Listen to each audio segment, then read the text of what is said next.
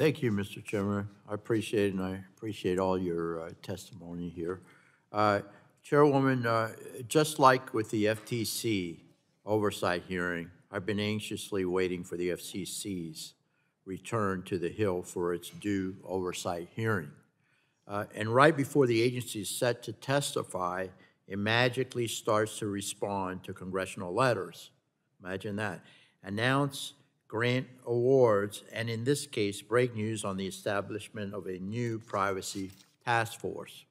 Over the past few years, considerable time and effort on the Innovation Data and Commerce Subcommittee, of which I chair, has been occurring on a bipartisan data privacy bill. So we're working on that. I expect you are familiar with previous versions, of course, of the efforts, which include having the FTC regulate common carriers collection, use, and transfer of uh, consumer information as opposed to the FCC. So the question is, uh, Madam Chairwoman, uh, should our takeaway on your privacy task force be that the FCC wants to regulate on top of what the FTC regulates on data privacy protections? Consumers care deeply about communications privacy. That's why Congress provided the FCC with authority to address communications privacy in Section 222 of the law, Section 631 of the law, and Section 337 of the law. We are using those provisions to help protect consumer privacy right now. We're not waiting for new laws. We're going to use them as much as we can to protect consumers as much as we can. The bottom line is that we have data breach laws that need to be updated in the communications sector. We have SIM swapping fraud we need to get on top of, and we have the enforcement of geolocation fines that needs to take place. I don't think we should apologize for using the law as we have it before us and protecting consumers' privacy. What, you know, I, I know you just uh, stated and you cited some uh, sections, of statutes.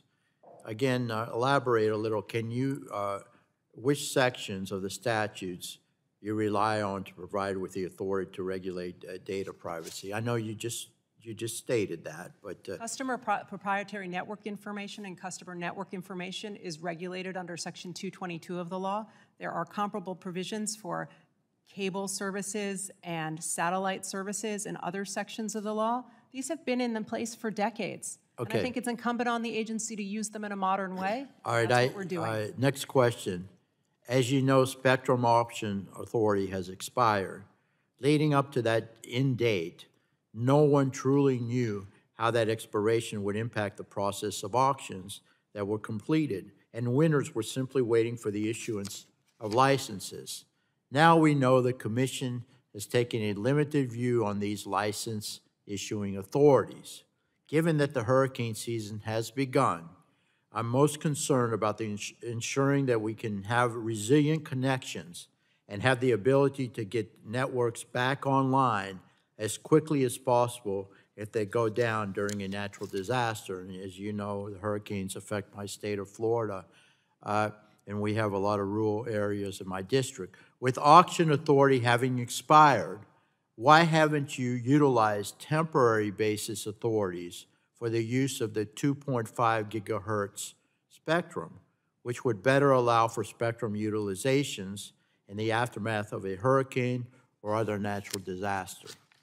If you could Well, answer First, that. I appreciate what you're saying about Florida. Following Hurricanes Ian and Fiona, I went and spent time with public safety authorities in Florida and Lee County and talked to them about some of these issues. So I realize how important it is for restoration.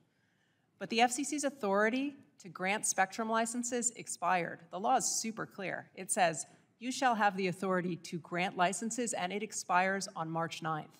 Any special temporary authority is subject to that broader authority. And so we are right now tying ourselves in knots trying to figure out how to get these licenses out. And the precedent we have here is complicated because issuing these licenses now could violate the Anti Deficiency Act, which is a criminal statute. And just so you know, the last time that the FCC was alleged to have violated the Anti Deficiency Act involving spectrum policy, we had all sorts of staff in the agency get investigated by the GAO. They had to hire their own counsel. I don't want to have any of that nonsense happening again, but I would happily work with you and everyone else on this committee to do whatever we can to make sure we get that Spectrum Auction Authority back, and definitely make sure we get it back before hurricane season gets fully underway. Well, please, I look forward to working with you. Please follow up. I'll I'll yield back, Mr. Chairman.